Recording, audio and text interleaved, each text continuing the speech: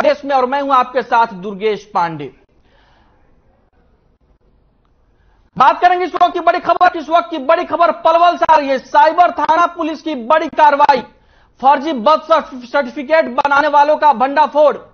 700 फर्जी प्रमाण पत्र किए जा चुके हैं जारी। गिरोह की महिला आरोपी को किया गिरफ़्तार। हरियाणा, बिहार समेत दूसरे राज्यों में फैला कारोबार। इस वक्त की बड़ी और अहम खबर हम आप तक पहुँचा रहे हैं पलवल से, जहाँ पर फर्जी बर्थ सर्टिफिकेट बनाने वाले गिरोह के सदस्यों को पुलिस ने गिरफ़्तार किया है। साइबर थाना पुलिस की बड़ी कार्रवाई। फर्जी बर्थ सर्टिफिकेट बनाने वाले गिरोह का भंडाफोड़ 700 फर्जी प्रमाण पत्र किए जा चुके हैं, जारी गिरोह की महिला आरोपी को किया गिरफ़्तार। हरियाणा, बिहार समेत कई राज्यों में फैला कारोबार। पलवल से इस वक्त की बड़ी खबर हम आप तक पहुँचा रहे हैं। साइबर थाना पुलिस की बड़ी कार्रवाई, फर्जी बर्थ सर्टिफिकेट बनाने वाले गिरोह का भंडाफोड़ 700 फर्जी प्रमाण पत्र किए जा चुके हैं जारी। गिरोह की महिला आरोपी, इसको किया गिरफ़्तार। साइबर थाना पुलिस की बड़ी कार्रवाई, पलवल से इस वक्त की बड़ी खबर हम आप तक पहुँचा रहे हैं। तस्वीर आप अपनी टीवी स्क्रीन पर देख सकते हैं, जिसमें पलवल की साइबर थाना पुलिस ने यह कार्रवाई की है और फर्जी बर्थ सर्टिफिकेट बनाने वाले गिरोह का भंडाफोड़ किया है। सात सौ फर्जी प्रमाण पत्र अभी तक जारी किए जा चुके हैं और इसी सिलसिले में पुलिस ने महिला आरोपी को गिरफ़्तार किया है।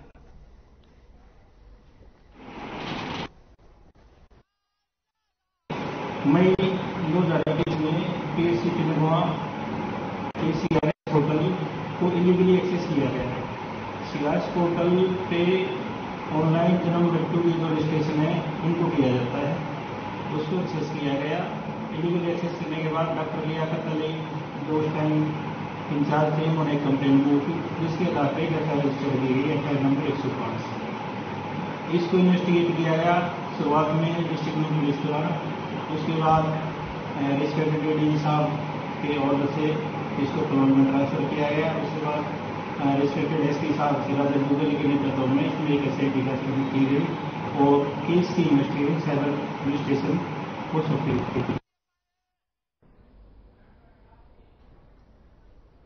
खबर पर ज़्यादा जानकारी के साथ प्रवीण आहूजा हमारे संवाददाता पलवल से हमारे साथ जुड़ चुके हैं। जी प्रवीण, क्या कुछ अहम जानकारी है खबर को लेकर आपके पास? कहाँ तक पहुँची अभी पुलिस की कार्रवाई?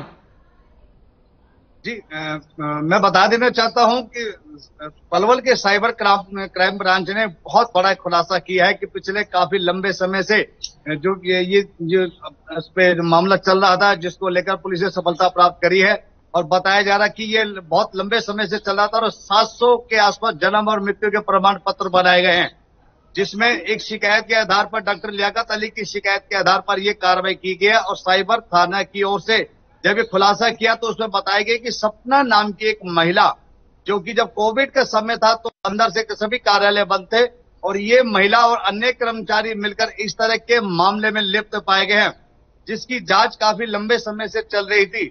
लेकिन जब जाँच में काफ़ी पड़ताल करने के बाद पाया गया कि एक महिला इस मामले में, उसका मामला आ रहा है, और महिला इसमें मामले में लिप्त है तो उसका खुलासा जब आज किया गया तो बताया गया कि अब तक इतने लंबे समय के अंतराल में लगभग 700 जन्म और मृत्यु प्रमाण पत्रों का जो अवैध रूप से बनाया गया जिनका कोई मामला भी नहीं था, जो सच्चाई रूप से सत्यापित भी नहीं थे, जब खुलासा हुआ डॉक्टर लियाकत अली के उसकी शिकायत के आधार पर तो बताया गया कि उसका जो पासवर्ड था, वो किसी तरह से हैक कर लिया गया था। और हैक करने के बाद उस पासवर्ड को बदल के इन लोगों ने इस कार्रवाई को अंजाम दिया है। और अब साइबर क्राइम ने जब इस मामले को दर्ज किया, दर्ज करने के बाद जब खुलासा हुआ तो आज उसे उन्होंने जानकारी देते हुए बताया है कि 700 मामले इस तरह के इसमें पाए गए हैं। जी। प्रवीण पूरे ये जो काम है ये महिला अकेली ही करती थी या इसके साथ और भी लोग जुड़े हुए हैं? जी शुरुआती जाँच में यह बताया गया कि अभी महिला से जाँच जो है अभी चल रही है उससे पूछताछ चल रही है और उससे अन्य और भी मामले खुलने के खुलासा के भी अंदाज़ा लगाया जा रहा है कि और भी इसमें मामले शामिल हो सकते हैं और भी लोग इसमें आ सकते हैं। लेकिन उसके लिए अभी पुलिस का कहना है कि अभी जो है उसकी से उसके लिए इंक्वायरी चल रही है। जैसी खुलासा होगा, उसका भी बहुत जल्द खुलासा किया जाएगा। जी।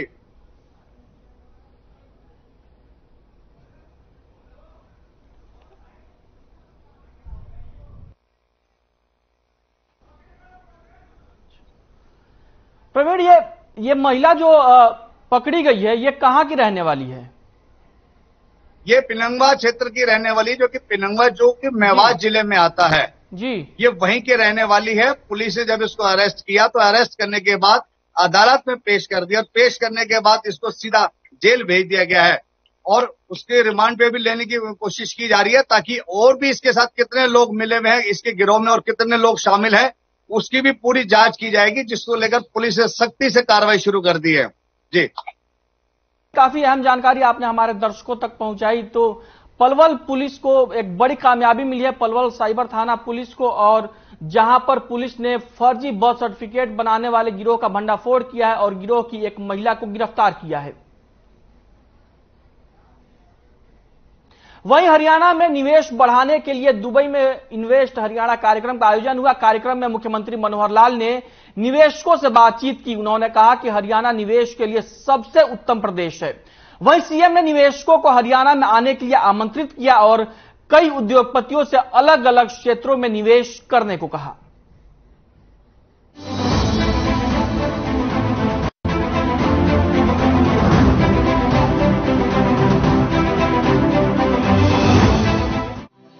प्रदेश के मुख्यमंत्री मनोहर लाल दुबई के दौरे पर हैं। जहाँ वो इन्वेस्ट हरियाणा समिट में शामिल हुए। अबू धाबी में एल्डर हेडक्वार्टर में भी सीएम ने कई मुलाकातें की।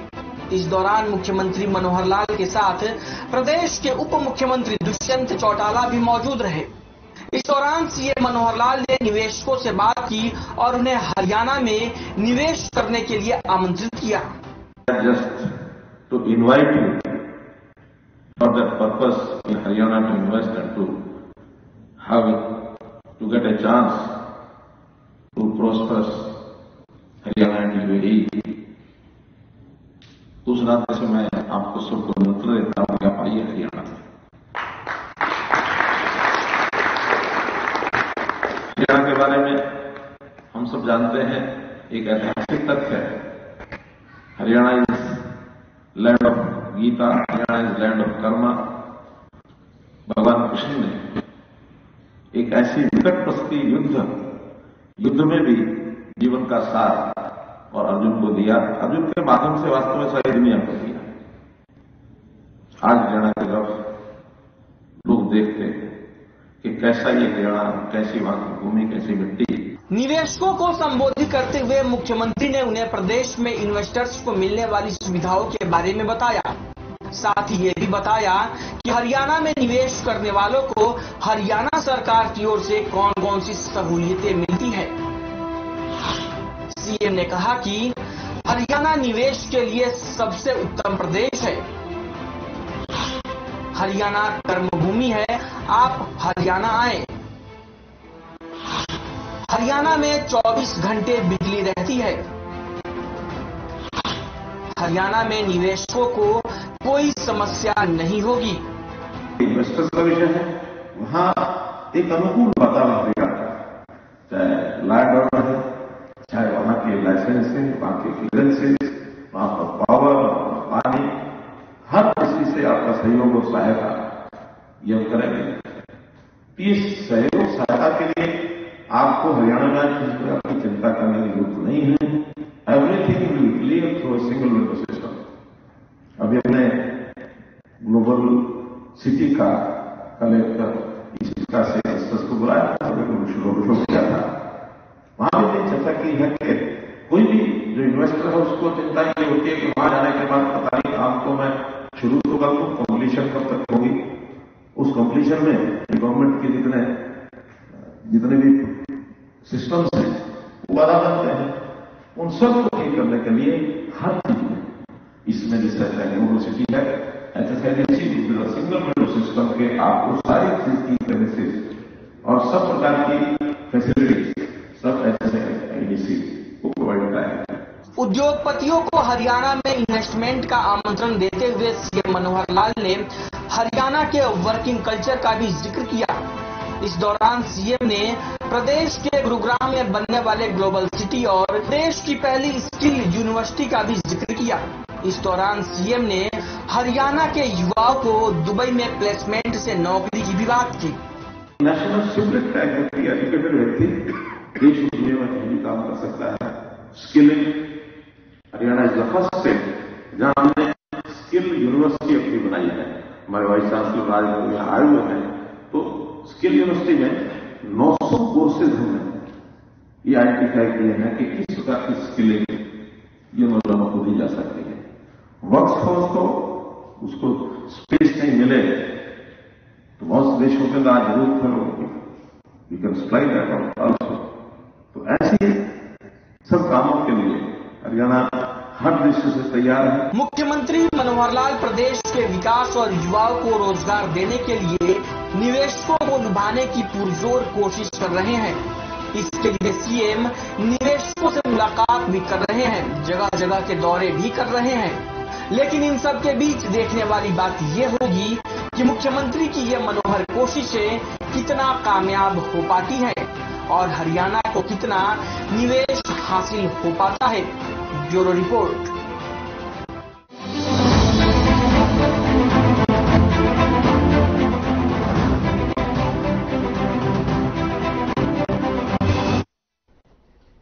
अब बात करेंगे इस वक्त की बड़ी खबर की, इस वक्त की बड़ी खबर गुलाचिका से सामने आ रही है।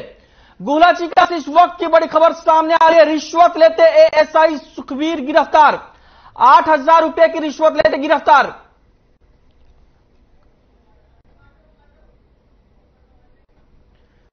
रिश्वत लेते एएसआई सुखवीर गिरफ़्तार। गुलाचिका से इस वक्त की बड़ी खबर हम आप तक पहुँचा रहे हैं। आठ हज़ार रुपए की रिश्वत लेते हुए गिरफ़्तार। गुलाचिका से इस वक्त की बड़ी खबर हम आप तक पहुंचा रहे हैं रिश्वत लेते एएसआई सुखवीर गिरफ्तार आठ हजार रुपए की रिश्वत लेते गिरफ्तार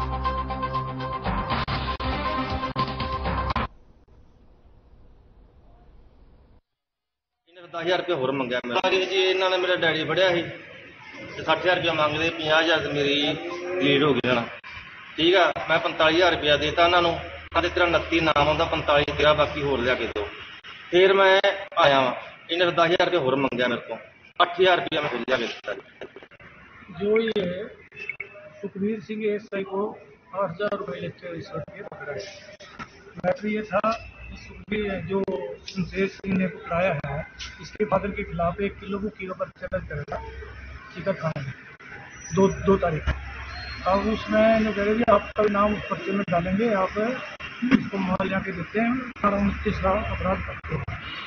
तो इसने रिक्वेस्ट करी भी, मेरे को वो न डालो, बीच में न डालो, और मैं आपको ये कहने लगे कि आपने मेरे को दस हज़ार रुपये देना ये कहने लगे, मैं गरीब आदमी हूँ, मैं आपको आठ हज़ार रुपये दूँगा तो ये सहमत हो गए इस बात पर और ये इसके पास नहीं आया, ये हमारे पास आ गया। मैं कुछ क्षेत्र में, मेरी ड्यूटी है, कुछ क्षेत्र में मेरे पास पहुँचे अपनी दरख्वास्त लेके और पैसे लेके। वहाँ मैंने अफसरों से बात करके और रेडिंग पार्टी तैयार करके मैंने रेड कर दिया जो ये है मैंने पैसे लिखते हुए रेडी एंड पकड़ लिए टिकट खाने। बुलेटिन में फ़िलहाल वक्त एक ब्रेक का है ब्रेक के बाद खबरें और भी हैं। सब कुछ आजमाया और तब मैंने माना कि सिर्फ़ सच्ची सहेली ही है। महिलाओं के उन मुश्किल दिनों की हर समस्या जैसे कठिन दर्द अनियमितता खून की कमी थकान व कमज़ोरी जैसी सभी प्रॉब्लम्स के लिए नंबर वन औषधि एवं टॉनिक मेरे जैसा कोई दूसरा? जिसकी हर बात में खुल जाए ज़िंदगी में रंग भर दे। मेरी जैसी मेरी अपनी पता का पता का चाय गजब का स्वाद। देखें कौन नया खिलाड़ी आया? समझा देते हैं प्यार से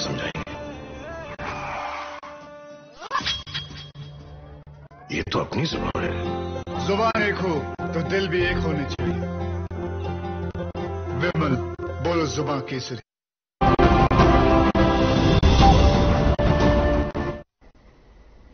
ब्रेक के बाद स्वागत है आपका। अंबाला में सेंट्रल जेल एक बार फिर से सुर्खियों में आया है। बताया जा रहा है कि सेंट्रल जेल एक बार फिर से कैदियों को वीआईपी ट्रीटमेंट दे रहा है। आपको बता दें कि दो महीने पहले ही जेल अधीक्षक का तबादला हुआ था। वहीं दो महीने के अंदर जेल से 21 मोबाइल फ़ोन बरामद हुए हैं। फ़िलहाल अंबाला शहर के थाना बलदेव नगर में पिछले नौ महीने में बासठ मोबाइल फ़ोन मिलने के मामले दर्ज हो चुके हैं। इस बार का जो दो हज़ार बाईस का जो डाटा है, अभी तक हमारे जेल की तरफ़ से जो लेटर आता है, उनमें पैंतीस मुकदमे दर्ज हो चुके हैं।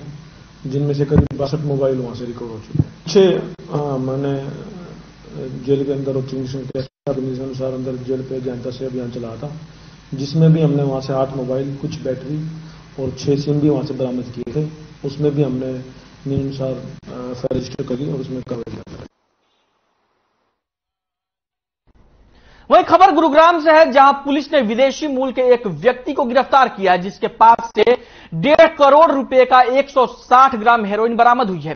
आपको बता दें कि नाइजीरिया का रहने वाला 28 साल का आरोपी फर्नांडो बेंजबिना बिना वीज़ा के गुरुग्राम में रह रहा था और नशीले पदार्थों की सप्लाई करता था। पुलिस के मुताबिक आरोपी पिछले छह महीनों से दिल्ली और गुरुग्राम में हेरोइन बेचने का काम कर रहा था। पुलिस ने मामला दर्ज कर आगे की कार्रवाई शुरू कर दी है।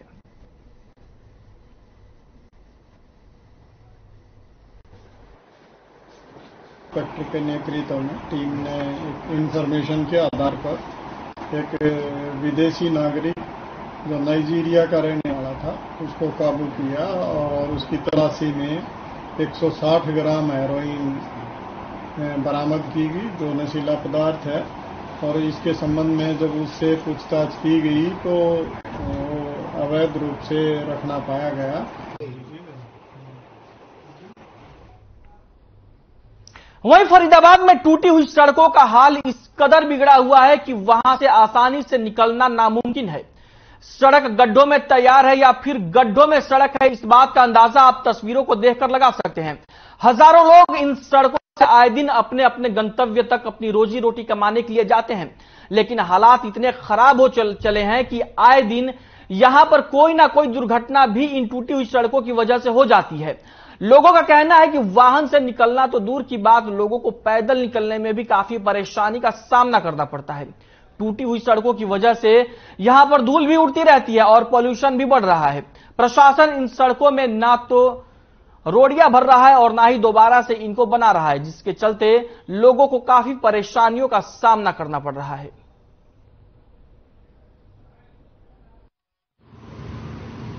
हमारा तो नुकसान ही नुकसान है। सड़क टूटने से। पहला नुकसान रोड पे टाइम से ना पहुंचो सवारी टाइम से ना ले जा पाओ। घंटा दो घंटा काम मिलता है उसमें भी यही टाइम निकल जाता है। काम। तो मेंटेनेंस भी तो कहीं आगे का पहिया टूट रहा कहीं पीछे का टूट रहा कहीं उसका सिलेंसर टूट रहा। सब नुकसान ही नुकसान। सर सर कह रहा हूँ की इतनी बुरी हालत हुई पड़ी है बिल्कुल जज्जर हालत हुई पड़ी है। अगर दो मिनट के लिए भी बारिश हो जाती है तो खड्डे इतने भर जाते हैं लपाला पानी से यही नहीं पता लगता है कि पानी जो है रास्ता किधर से निकलेगा किधर नहीं ले सकता। और हम बाइक पे फ़ील्ड का हमारा काम है, रोज़मर्रा का आते जाते रहते हैं। तो बड़ी परेशानी होती पड़ रही है और मेंटेनेंस भी इतना आ जाता है कि बहुत ज़्यादा वहीं गुरुग्राम में सीएम उड़नदस्ता और एचएसवीपी टू की संयुक्त टीम ने कार्रवाई की है। बताया जा रहा है कि गुरुग्राम की सरकारी ज़मीन पर चल रही अवैध पार्किंग को लेकर कार्रवाई की गई। आपको बता दें कि सेक्टर 48 में एचएसवीपी की सरकारी ज़मीन पर काफ़ी समय से अवैध पार्किंग चल रही थी। इस दौरान पार्किंग में करीब 100 से ज़्यादा गाड़ियाँ खड़ी मिली, जिसके बाद अवैध पार्किंग में गाड़ियों की पचास रुपए, बाइकों की बीस रुपए की पर्ची काटने के साथ साथ प्रति माह पास भी बनाए जाते थे। वहीं मौके से टीम ने बाइक की काटी हुई पर्चियाँ और पार्किंग रजिस्टर भी जब्त की है।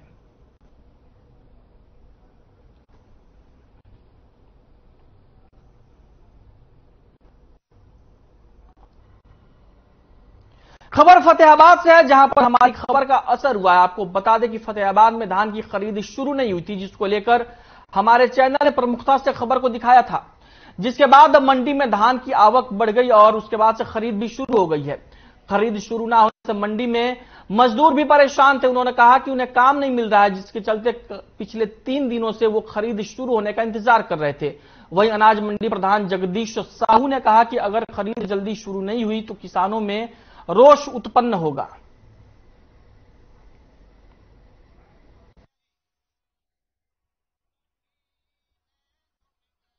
ना माल आ रहा है ना कोई सुनाई हुई ना कोई बात।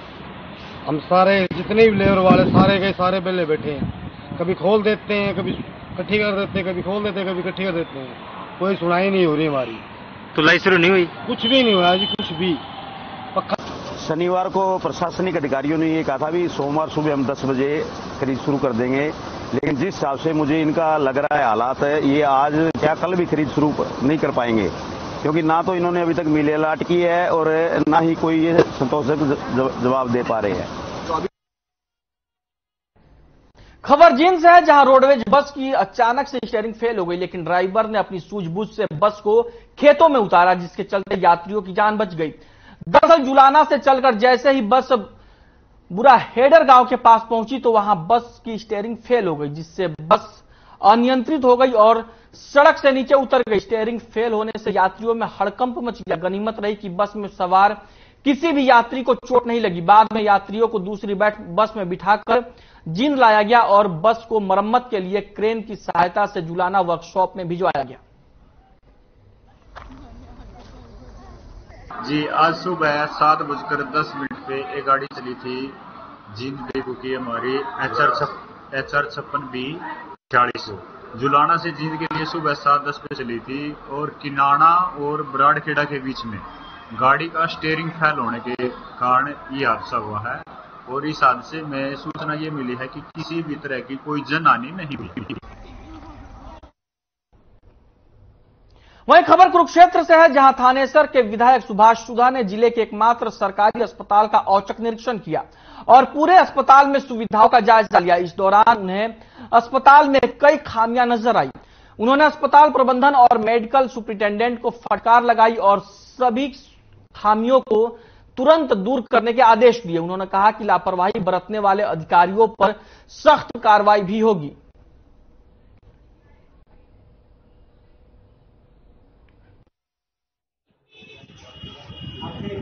समय समय पर मेरा यहाँ आना हुआ। अभी आके सबसे पहले जो पेशेंट थे उनके मेंटेनेंट को पूछा।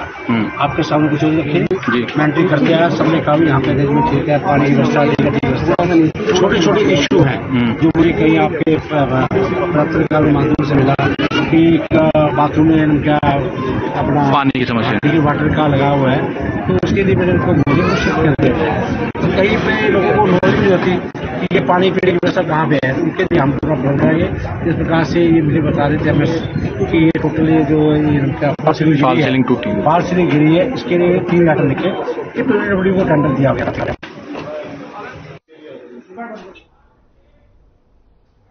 मेरा गाँव मेरा देश में फ़िलहाल के लिए इतना ही। मुझे दीजिए इजाज़त। नमस्कार।